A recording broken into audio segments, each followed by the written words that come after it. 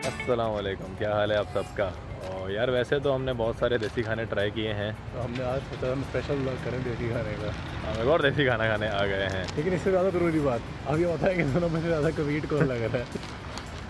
जो ज़्यादा कवीट आपको लग रहा है वो आप कमेंट करके बता दें।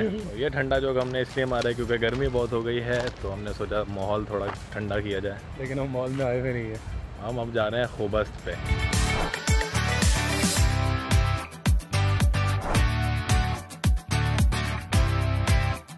तो यार ये है डी एच ए खैबान इतिहाद पे। ये सोराब रोड का मशहूर खूबस्त है कि दूसरी ब्रांच सोराब रोड या नाजमाबाद के बिल्कुल कहीं मिड में आती है। काफ़ी मशहूर है। दोनों के रेट थोड़े से डिफरेंट है क्योंकि DHA वाले टैक्स लेते हैं इस वजह से थोड़ा बहुत डिफरेंट है।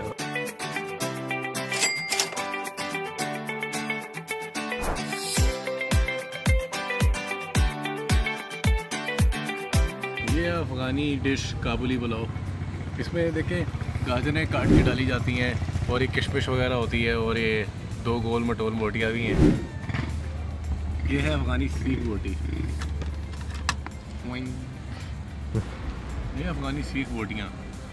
इनका असली तरीका है खाने का। इनको सबको निकालो, चावलों पर डालो। ओहो। फिर जब ये चावलों के साथ निकाल के खाते हैं। होए होए होए होए।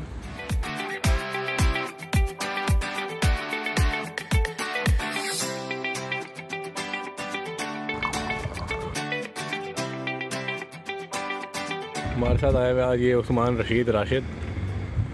इन्होंने भी आज वही डिश मंगवाई है। ये कौन सी डिश है? आप बताना चाहेंगे? ये अफ़गानी पुलाव है आई थिंक और इसके साथ अफ़गानी बोटियाँ मिली हैं।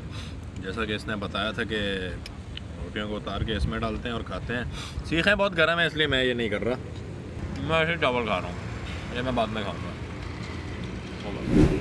तो यार, ये था हमारा छोटा सा ब्लॉग होबस्त का। यार काफ़ी अच्छा था रेटिंग हम आपको विजुअली दिखा देंगे।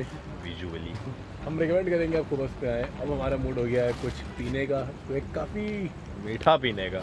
वायरल जगह हुई भी है बिस्मिल्ला मिल्क शॉप के नाम से। वहाँ मिलते हैं आपको। ओके। ओ तेरी।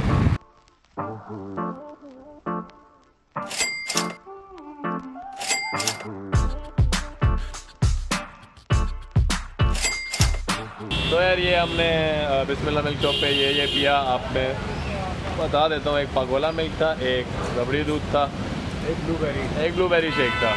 सबसे अच्छा रबड़ी दूध लगा हमें अब हम जा रहे हैं अल्लाह हाफिज़